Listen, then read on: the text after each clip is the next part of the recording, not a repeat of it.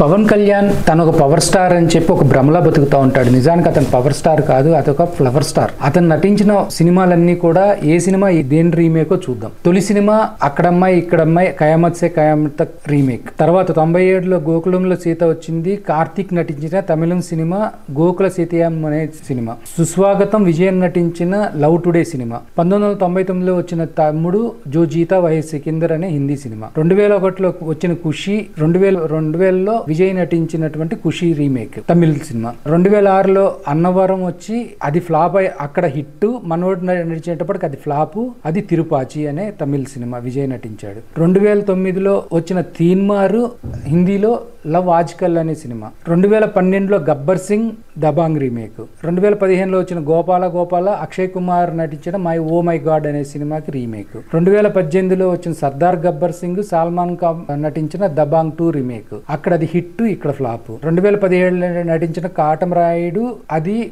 రెండు వేల పద్నాలుగు అజిత్ నటించిన తమిళ సినిమా వీరం కి రీమేక్. రెండు వేల పద్దెనిమిదిలో నువ్వు నటించిన అజ్ఞాతవాసి రెండు వేల పద్దెనిమిదిలో హాలీవుడ్ సినిమా లార్గో వి- వించ్ రీమేక్. సో రెండు వేల పదహారులో నువ్వు నటించినటువంటి వకీల్ సాబ్ వచ్చి పింక్ సినిమాకి రీమేక్. రెండు వేల ఇరవై ఒకటిలో వచ్చిన భీమ్లా నాయక్ అయ్యప్పన్ కోశ్యంకి రీమేక్. రెండు వేల ఇరవై మూడులో వచ్చిన బ్రో వినోదం సితియాంకి తమిళ తమిళ సినిమాకి రీమేక్. ఇన్ని సినిమాలు పెట్టుకొని రీమేక్ చేసి నువ్వు ఒక స్టార్ అని చెప్పి అంటే ఆ స్టార్ కూడా పవన్ కళ్యాణ్ అనే ముద్ర ఎలా వచ్చింది అంటే అది చిరంజీవి అనే షీల్డ్ ఉండటం వల్ల. చిరంజీవి అనే షీల్డ్ లేకపోతే నువ్వు నటించిన సినిమాలకి లేకపోతే నీ నటనకి నీ ఓవర్ యాక్షన్కి ఒక్కడు కూడా సినిమా చూడు పవన్ కళ్యాణ్.